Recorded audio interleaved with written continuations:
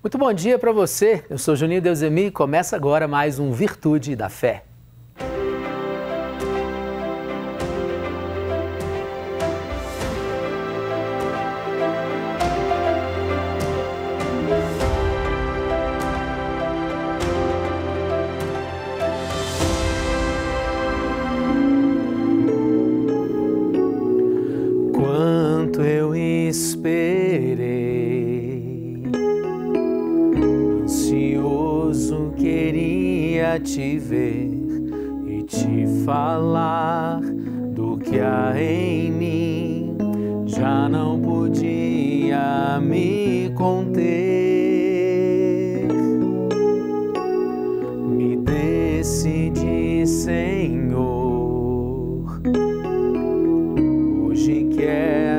Rasgar meu viver e te mostrar meu coração, tudo que tenho e sou. E por mais que me falem, não vou desistir. Eu sei que nada sou, por isso estou aqui. Mas eu sei que o amor que o Senhor tem por mim é muito mais que o meu. Sou gota derramada no mar. Quanto tempo também o Senhor me esperou. Nas tardes encontrou saudade em meu lugar. Mas ao me ver na estrada, ao longe voltar, num salto se alegrou e foi correndo me encontrar.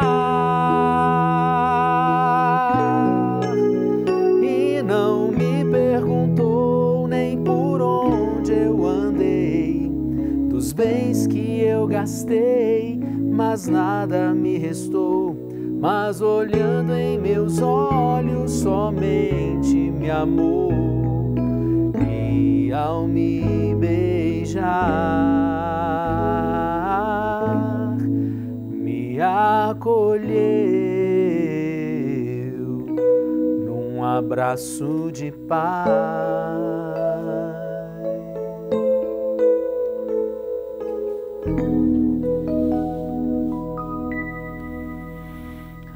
Muito bem, hoje vamos falar sobre a fé e o perdão. Você tem algo contra alguém? Se tem, deve viver como se não tivesse e deixar para lá? Você sente que precisa perdoar alguém? Será que o perdão lhe dará realmente alívio? As Sagradas Escrituras estão recheadas de lições sobre o perdão. Perdoar é uma decisão. Muitos sofrem por não terem esse dom do perdão. E aí? Vamos mergulhar juntos nesse mistério do perdão? E para interagir hoje com a gente de forma remota, estamos com ele, René Dentes, que é psicanalista, filósofo e teólogo. Meu querido René, muito obrigado pela sua por ter aceitado o nosso convite. Seja muito bem-vindo. Obrigado, eu que agradeço, Juninho, aos nossos queridos telespectadores da TV Horizonte. É um prazer estar aqui no programa Virtudes da Fé pela primeira vez eu tenho muito a dizer sobre esse tema tão importante, tão urgente em nossos dias e que espero poder contribuir a todos e a todas. Muito bem. O Renê, é, o perdão ainda é um tema, ele urge realmente, mas ele é um tema muito pouco entendido, né? O que, que é de fato o perdão? Então, Juninho, o perdão é a proposta central do Evangelho, né? porque Jesus, quando diz perdoar 70 vezes 7, é a radicalidade do perdão, é algo que sem ele não existe o cristianismo, assim como a condição de vulnerabilidade humana. Mas perdoar é, no fundo, desligar o agente do ato, ou seja, uma pessoa ela erra na sua vulnerabilidade, mas ela não é o seu erro completamente é, desabsolutizar a pessoa, ou seja, pensar que ela pode, em outro momento, ser muito além daquele ato.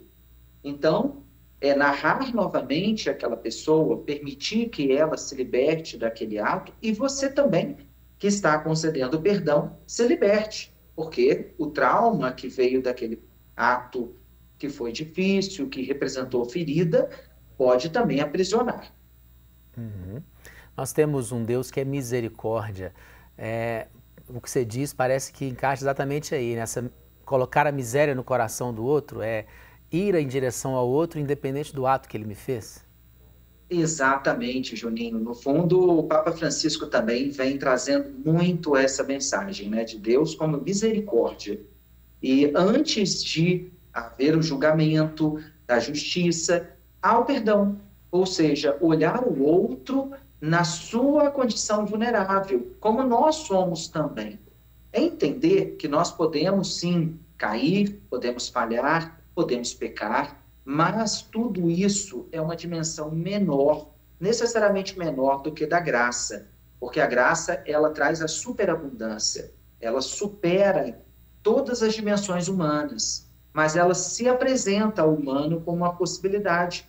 E uma das possibilidades mais assim ricas da graça é a do perdão, é que abre possibilidade ao outro de se ressignificar, e você também ressignificar aquele fato que foi tão doloroso. A dor, ela não precisa ficar presa em alguns elementos. A dor, ela pode ser ultrapassada fazendo a sua memória, vivenciando essa dor, sim, mas não paralisando nela. É possível caminhar. Muito bem. E, e a fé? Sem o perdão, você acredita que a fé de uma pessoa ela continua intacta ou a fé é abalada com a ausência do perdão? Eu penso que sim. É muito importante a gente dizer, eu costumo é, sempre afirmar isso. O perdão é um ato sublime, é um ato humano, mas é um ato difícil muitas vezes, porque a pessoa que sofreu a ferida, ela muitas vezes sabe, ou às vezes mesmo não sabe, não tem consciência, porque toca nos aspectos inconscientes do humano. Aonde foi aquela ferida? Ou seja, até onde? Que profundeza ela chegou, né? Porque às vezes representa uma quebra de confiança, a pessoa que afetou, é, muitas vezes resgatou, resgatou traumas do passado daquela pessoa, ou seja, aquele elemento que estava lá adormecido naquela pessoa, com aquela ferida que ela recebeu, foi potencializado. Então, cada um sabe, ou até mesmo não consegue ter clareza de onde foi a sua dor, mas vivencia a sua dor. Então, o perdão, ele deve ser visto como uma possibilidade. É um horizonte, eu gosto muito de pensar assim, como um horizonte, um caminho, um processo às vezes, Juninho, a pessoa vira e fala assim: olha, poxa, será, professor, que eu sou tão mal que eu não consigo perdoar? Então, eu não, estou vivenciando a graça completamente. Eu costumo dizer assim: olha, a graça tem seu tempo. O tempo de Deus é um tempo próprio, e é um tempo próprio, sobretudo, no humano. Né? Então, pela misericórdia, Deus quer que nós caminhemos, mas no nosso tempo. Então, é um tempo de pé, real. Né? Então, nesse sentido, é, as pessoas não precisam se culpar porque não perdoam, porque às vezes é difícil mesmo. Mas o importante é buscar, buscar a graça, se abrir e estar num processo. No final desse processo, a pessoa pode sim elaborar a sua dor, ressignificar aquela relação e assim alcançar o perdão. Devemos ver o perdão como uma possibilidade, um horizonte, um horizonte de perdão.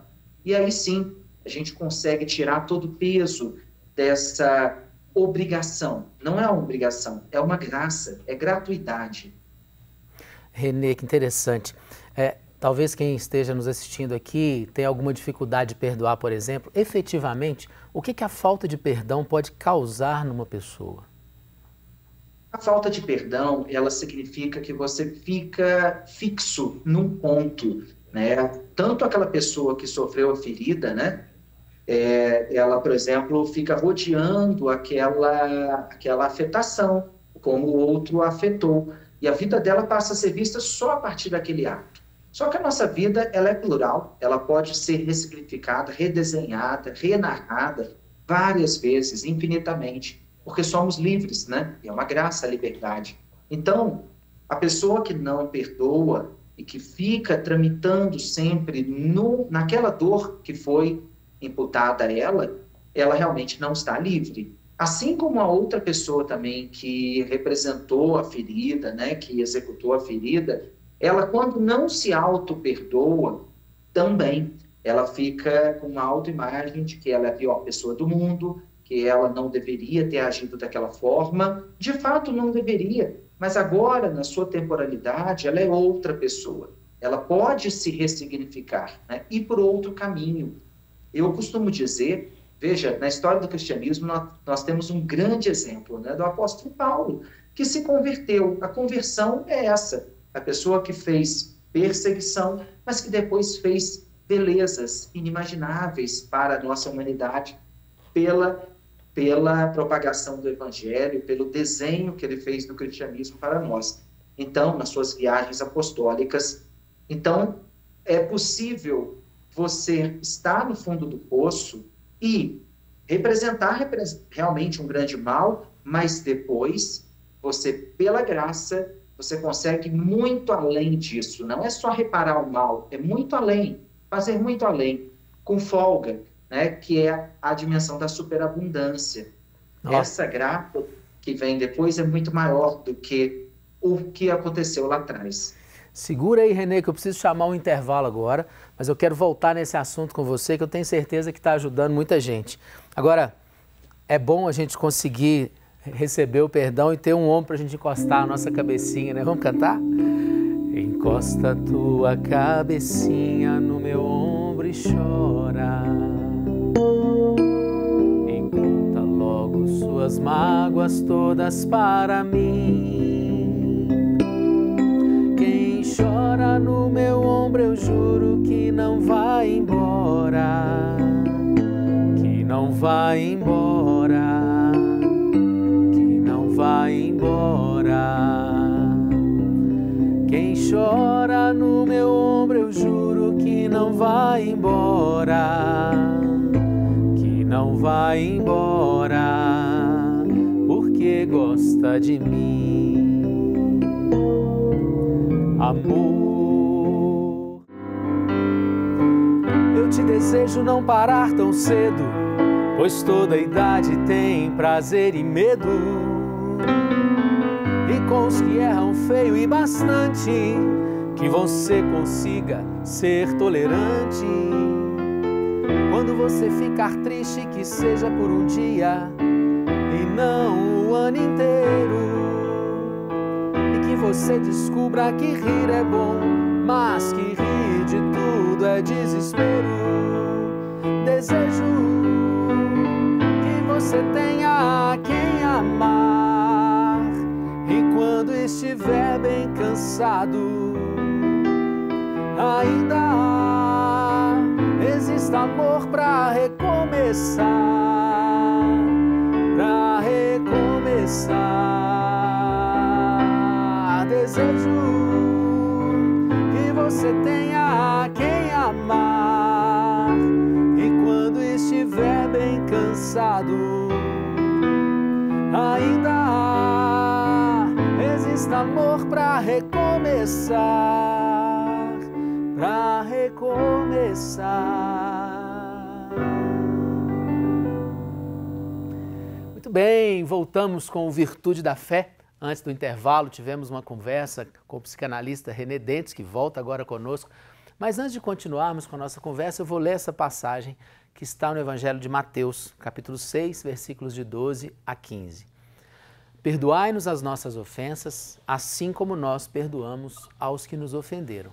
E não nos deixeis cair em tentação, mas livrai-nos do mal.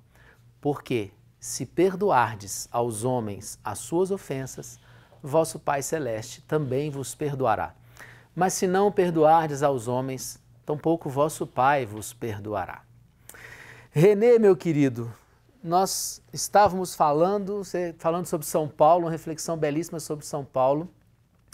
E eu comecei com a música do Frejá, agora esse bloco. Eu desejo que você tenha que amar e quando você estiver bem cansado, ainda exista amor para recomeçar. Foi isso que Paulo fez, né? Ainda tinha amor lá dentro, algo pulsava dentro dele que fez com que ele pudesse recomeçar. Exatamente, Juninho. Aliás, é, o repertório de músicas do programa é espetacular. Ainda mais a última, viu? Parabéns. Olha, é, de fato, o amor é aquilo que supera, né? E o amor não tem igual. O grande elemento é, novo do cristianismo, né, extraordinário do cristianismo, foi essa assimetria do amor, né? O amor não tem parâmetro em coisas ruins, ele não é o contrário de coisas ruins, ele é muito mais. Ele não tem comparação. Então, é por isso, por esse amor, que nós somos capacitados ao perdão, porque nós podemos fazer muito mais, libertar-nos e os outros que estão próximos, né? Um grande é, efeito da ação do Espírito é justamente a abertura à graça. E Cristo, se a gente pensar numa cristologia, né, a relação de Cristo com o Espírito foi justamente essa, foi aquele que mais se abriu à graça do Pai no mistério trinitário. Então, nesse pelo Espírito. Então, nesse sentido, é o amor que vai precisar ser fluido. E nesse sentido, um gesto de perdão, não tenho dúvida que é a maior expressão da fluidez do amor. Uhum. Bom, a gente leu um trechinho do Evangelho e vendo aí o restinho do Pai Nosso, e aí completa, né? Jesus completa: olha, se vós não perdoardes aos vossos inimigos, tampouco vosso Pai do céu não vos perdoará. Ou seja, o perdão não é uma via de mão única, né, Renê? Exatamente. E aí esse trecho deixa muito claro, né? Jesus deixa muito claro é, a, afirmação assim, perdoar os inimigos. Porque e o Papa Francisco há pouco tempo ressaltou isso, né? Enfatizou perdoar os amigos é fácil, você tem recompensa, você vai ter uma reciprocidade, mas o perdão não é da ordem da reciprocidade. Você não vai esperar perdoar para ganhar alguma coisa. É claro que liberta, não tenho dúvida também, mas o perdão é gratuito. E perdoar os inimigos é um desafio e vem dessa ordem de gratuidade diretamente da graça. Uhum. É, a falta da gratuidade acaba fazendo com que a pessoa que não consegue perdoar também não se abra ao perdão do Pai. É, talvez aí nem seja que Deus não está disposto a não perdoar, não é isso, Renê? Mas eu não estou aberto ao perdão. Se eu não consigo dar ao outro, como é que eu vou estar aberto ao perdão para mim mesmo? Exatamente, exatamente. Então, é, também uma dimensão fundamental da nossa fé é a alteridade, né? O outro ele sempre está em nós, ele está participando da nossa existência. O mal é justamente o fechamento a esses outros, né? Que também pelo mistério trinitário nós vemos no outro a figura de Deus, nosso Pai. Então, nesse sentido, é, quando nós fechamos no rancor, na mágoa, na falta que o outro implicou em nós, né, executou em nós, aí nós estamos é, nos fechando ao que há de melhor, ao que há de mais libertador no humano. Então, essa alteridade, esse infinito que há no outro, né? esse infinito que é seu rosto, que está muito além das suas definições de conceitos, né? E esse infinito, ele que nos permite uma libertação. E quando a gente está nessa ordem do perdão, a gente está nessa dimensão do perdão, vivenciando, é que nós conseguimos ver o infinito no outro, porque aí são eternas, infinitas possibilidades que o outro tem, e não totalizando esse outro num ato que ele cometeu. É essa a grande beleza do perdão. Renê, é, muitas pessoas dizem assim, olha, tem coisa que não dá para perdoar. Ô, Juninho, você, você não sabe o que, que fulano fez comigo, então isso não tem perdão. É, como que essas pessoas que têm grandes dificuldades de perdoar, eu falo essas pessoas, mas pode ser cada um de nós, né, Renê, também, mas como que a gente, no movimento de dificuldade de enxergar motivos para perdoar, onde é que a gente busca esses motivos? Então, eu costumo também dizer, é, Juninho, que é muito importante quando a gente faz, a gente está nessa dimensão do perdão, tentando buscá-lo, é, fazer a memória, né? Então, quando há memória, ou seja, o outro ele precisa atestar, reconhecer que afetou, né? E quando, por exemplo, nós vivenciamos situações históricas ou de guerras, né, é preciso é reconhecer que o outro foi afetado, né? Mas é, muitas vezes não tem isso, porque a pessoa não reconhece, a pessoa já foi embora, a pessoa ela já está em outra dimensão, vamos dizer assim, né? Já se foi entre nós e mesmo assim precisamos perdoar. Muitas vezes essa relação de pais, filhos, né, e tal. A questão aí é entender o outro com misericórdia. Nessa situação de pais que precisam ser perdoados por filhos, né, porque fizeram coisas ruins no passado, é entender que talvez eles não tivessem outra, outro caminho. Eles estavam limitados na sua existência. Não justifica o que eles fizeram, mas muitas existências estão limitadas à época, à condição de vida que tiveram, à sua criação. Então, um olhar para o outro com misericórdia é sempre um caminho bom. E existe o imperdoável? O Evangelho diz que não. Jesus Cristo diz que não. Né? Aos olhos do cristianismo, não existe o imperdoável. É, aos olhos humanos, puramente humanos, sim, existe o imperdoável. Mas a gente tem que olhar com esses olhos da graça nessa situação. Buscar transcender. Renê, olha, é um prazer receber você aqui. Estou muito feliz. Obrigado pela oportunidade que você nos dá de beber também dessa fonte que é o seu conhecimento. Mas onde é que as pessoas te acham? O nosso telespectador que está assistindo aqui agora, se ele quiser fazer contato com você, onde é que ele te acha e já deixa uma mensagem final que o nosso programa já está encerrando. Claro, Juninho, eu que agradeço muito o convite aqui para participar do programa Virtude da Fé. Sempre um prazer, conte sempre comigo. Bom, as pessoas me acham no Instagram, que é arroba Dentes Renê, Dentes com TZ. E também é, eu queria aproveitar a oportunidade para divulgar meu novo livro, né, que é chama Vulnerabilidade, onde eu trato sistemas existenciais, temas humanos, inclusive o perdão. Esse livro eu tive a graça de e a alegria de ter o prefácio do Dom Vicente Ferreira, né? Participa aí também da TV Horizonte, bispo auxiliar da Diocese de Belo Horizonte, um amigo de longa data, que escreveu um belíssimo prefácio a esse livro. Esse livro foi editado pela editora Ideias e Letras, né? Então, lá no site www.editoraideiasletras.com.br e também na Amazon você encontra esse livro.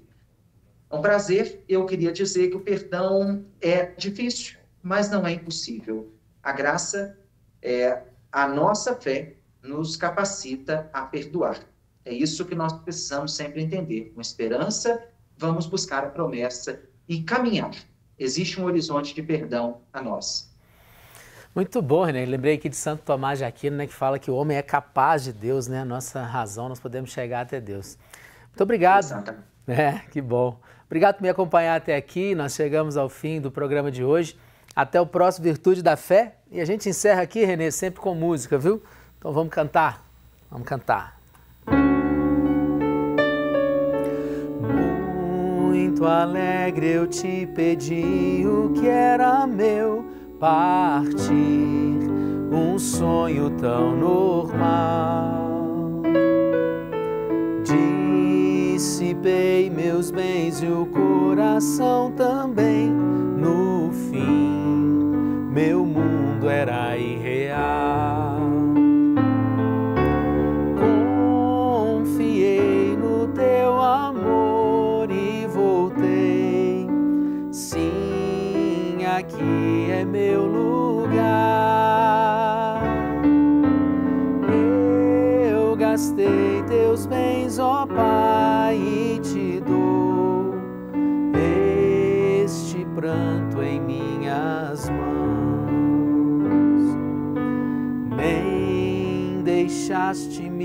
falar da ingratidão, morreu no abraço mal que eu fiz. Festa, roupa nova, anel, sandália aos pés, vou tem a vida sou feliz.